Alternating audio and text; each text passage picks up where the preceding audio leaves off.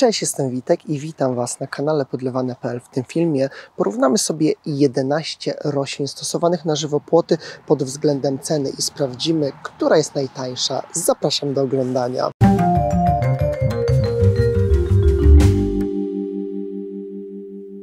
Pod uwagę weźmiemy sobie rośliny w donicach mniej więcej dwulitrowych, które są ukorzenione. Jest to ważne, ponieważ kupowanie roślin w donicach to nie jedyny sposób. Można też kupić rośliny z gołym korzeniem lub rośliny wykopane z gruntu. I jednak według mnie takie rośliny z gruntu czy z gołym korzeniem lub nawet starsze i większe będą proporcjonalnie tańsze lub droższe. Dlatego to zestawienie będzie miało swoją wagę nawet za kilka lat, gdy ceny się zmienią, to myślę, że pierwsza pozycja i tak pozostanie tą pierwszą, a ostatnia i tak pozostanie tą ostatnią. Ważnym tematem jest również to, że różne rośliny sadzimy w różnych odległościach. Dlatego podczas robienia tego zestawienia weźmiemy sobie na przykład 10-metrowy odcinek żywopłotu, ponieważ jedne rośliny możemy posadzić co 30 cm, a inne sadzimy nawet w rozstawie co metr. Bukszpan wiecznie zielony. Znajdziecie go w cenie od 11 do 14 zł i najlepiej sadzić go co około 20 cm, co na odcinek 10 metrów da Wam aż 50 roślin. Stosowany jest on głównie na niskie żywopłoty, a jego główną zaletą jest fakt, że jest mrozoodporny i zimozielony. Jednak posiada też wadę, która nazywa się ćma bukszpanowa, która uwielbia właśnie tą roślinę. Za 10 metrów takiego żywopłotu zapłacicie od 550 do 700 zł. Następną rośliną jest laurowiśnia, którą znajdziecie w przedziale cenowym od 25 do 40 zł. Taką laurowiśnię powinniśmy sadzić co około 50 cm, co daje nam 20 sadzonek na 10-metrowy żywopłot. Ogromną zaletą laurowiśni jest fakt, że jest to roślina kwitnąca o bardzo ładnych, białych, miodowo pachnących kwiatach oraz jest rośliną zimozieloną. Jednak posiada też wady. Otóż w nie wszystkich częściach naszego kraju dobrze zimuje. Tutaj będziecie musieli wydać od 500 do nawet 800 zł. Następną propozycją jest grab pospolity, który znajdziecie w przedziale cenowym od 15 do 20 zł. Rośliny takie powinniśmy sadzić w rozstawie około 30 cm, co wychodzi, że na 10-metrowy odcinek żywopłotu będziemy potrzebowali 33 rośliny. Zaletą grabu jest naturalistyczny wygląd oraz dosyć szybki wzrost, za to wadą fakt, że żywopłot taki będziemy musieli przycinać. Tutaj wydać będziemy musieli od 495 zł do 660. Następną propozycją są berberysy, które kosztować będą mniej więcej od 17 do 35 zł. Rośliny takie najlepiej sadzić mniej więcej co 40 cm.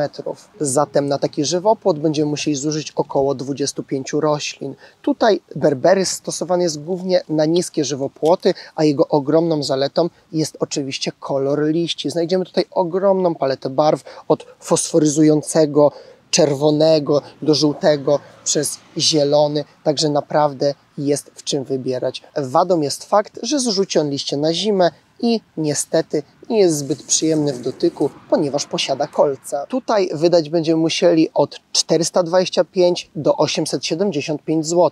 Następną propozycją są cisy, które znajdziecie od 19 do 35 zł, a sadzić je najlepiej mniej więcej co 45 cm, co na żywopłot o długości 10 metrów da nam 22 sadzonki. Zaletami cisów jest ekskluzywny wygląd, fakt, że są to rośliny zimozielone, a wadami to, że są to rośliny trujące i stosunkowo wolno rosną. Na żywopłot z cisa wydać będziecie musieli od 418 do 660 zł. Następną propozycją jest ligustr pospolity i ligustr półzimozielony. Tutaj na roślinę wydacie od 9 do 15 zł, a sadzić je najlepiej mniej więcej co 30 cm, co na żywopłot o długości 10 metrów daje nam około 33 rośliny. Zaletą ligustra jest ładny wygląd, niskie wymagania, szybki wzrost. Za to wadą jest fakt, że zrzucią swoje liście na zimę oraz będziemy musieli taki żywopłot przycinać. Tutaj wydacie od 297 zł do 495 zł. Następną propozycją jest dereń biały. Ważna informacja jest taka, że to, że nazywa się dereń biały, nie znaczy, że jest to roślina białego koloru. Jest to bowiem jego nazwa własna. Także dereń biały nie musi być białego koloru. Sadzonkę takiego derenia znajdziecie w przedziale od 15 do 20 zł, a sadzić je najlepiej mniej więcej co 65 cm, co na żywopłot o długości 10 metrów daje nam około 17 sztuk. Zaletą takiego żywopłotu jest fakt, że mało osób posiada taki żywopłot, więc można się wyróżnić na tle innych ogrodów. Wadą jest to, że zrzuca liście, ale kolejną zaletą jest to, że nawet zimą wygląda ładnie, ponieważ jego pędy często przyjmują bardzo jaskrawe kolory, na przykład czerwonego lub żółtego. Na żywopłot taki wydacie od 255 zł do 340. Następną propozycją są ogniki, które znajdziecie w cenie od 20 do 30 zł. Posadzić je powinniśmy mniej więcej co 80 cm, co na żywopłot o długości 10 metrów daje nam około 12 sztuk. Jego zaletą jest niezwykle piękny wygląd tych oto jesiennych kuleczek, które występują w kolorach takich jak czerwony, pomarańczowy czy żółty. Za to wadą jest to, że roślina nie jest zbyt sympatyczna w dotyku, ponieważ posiada dosyć ostre ciernia. Za żywopłot z takiego ognika zapłacicie od 240 do 360 zł. Następną rośliną na naszej liście jest pęcherzyca, którą znajdziecie od 17 do 24 zł.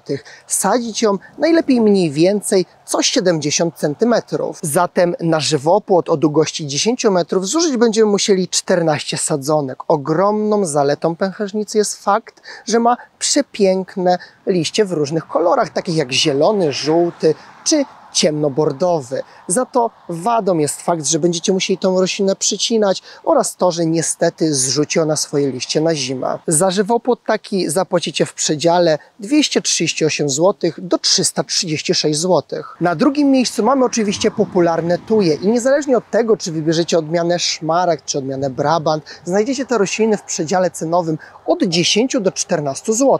By uzyskać zwarty żywopłot z tych roślin, powinniśmy je posadzić mniej więcej co 60 cm, co na odcinek 10 metrów daje nam mniej więcej 16 sadzonek. Zaletą tui jest szybki wzrost, fakt, że jest to roślina zimozielona i nie jest specjalnie podatna na choroby. Wadą niestety jest popularność, ponieważ na pewno takim żywopłotem nie wyróżnimy się na tle innych ogrodów. Za żywopłot taki zatem zapłacimy od 160 do 224 zł.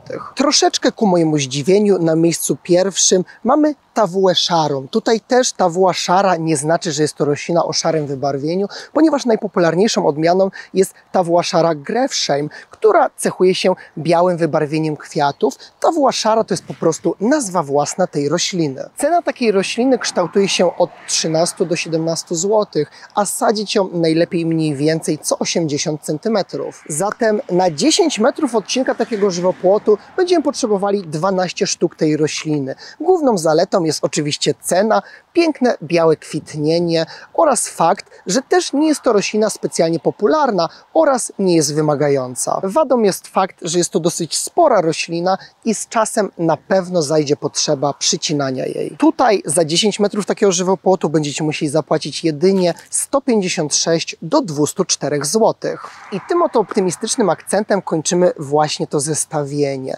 Tutaj też ciężko porównywać poszczególne rośliny pod względem ceny, ponieważ każda z nich ma jakieś inne cechy. I musimy sobie odpowiedzieć na pytanie, czy chcemy mieć troszkę droższą roślinę, na przykład zimozieloną lub troszkę tańszą, a o innych cechach. Każdy musi odpowiedzieć sobie na pytanie, co nam się tak naprawdę podoba i ile jesteśmy w stanie wydać na taki żywopłot. Na dziś to tyle. Bardzo dziękuję Wam za uwagę. Wszystkie ważniejsze informacje znajdziecie na dole w opisie filmu, a ja już się z Wami żegnam i do zobaczenia oczywiście w następnych filmach. Cześć!